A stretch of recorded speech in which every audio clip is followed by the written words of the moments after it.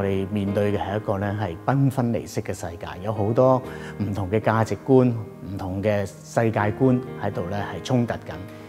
而教會一直都需要秉持一個嘅使命同埋信念，就係點樣讓每一位跟從耶穌基督嘅人，能夠喺每一個時代當中都能夠成為主中心嘅門徒。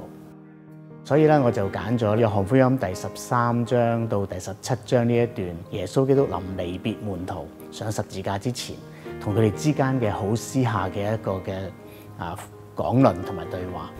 藉着呢幾段嘅聖經咧，我相信我哋大家都明白，耶穌係同佢啲門徒講到佢哋屬於耶穌嘅身份，同埋點樣係跟從佢。藉着佢哋咧係喺呢個地上咧去效法耶穌基督，同埋咧彰顯耶穌嘅生命，成為一個可以引導人咧去認識基督嘅一班人。我希望咧喺今年嘅培靈會當中，藉着約翰福音第十三章到十七章一齊去思想一下。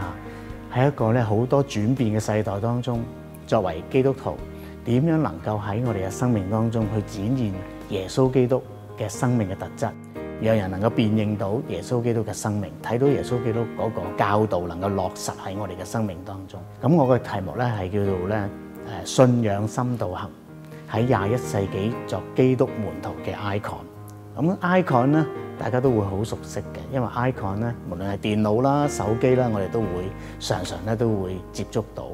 而 icon 咧有一個好特別意思，就係當你見到佢好簡單嘅一個標誌嘅時候，你就知道佢裏邊嘅內容，知道佢裏邊咧蘊含啲乜嘢嘅實質。咁都盼望咧，我哋喺呢個地上去活出基督嘅生命咧，人都能夠透過我哋咧去睇到耶穌嘅生命，睇到耶穌嘅生命係點樣展現喺我哋嘅生命嘅當中。咁希望咧，今年喺培靈經大會裏邊咧，可以見到你啦，同你一齊分享聖經，一齊咧去誒思想神嘅話語。